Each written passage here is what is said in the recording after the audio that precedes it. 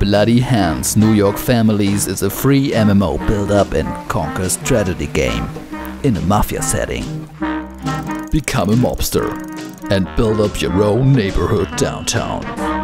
Dive into the 1930s of New York City and live through the time of prohibition, alcohol smuggling, corrupt cops, and family wars.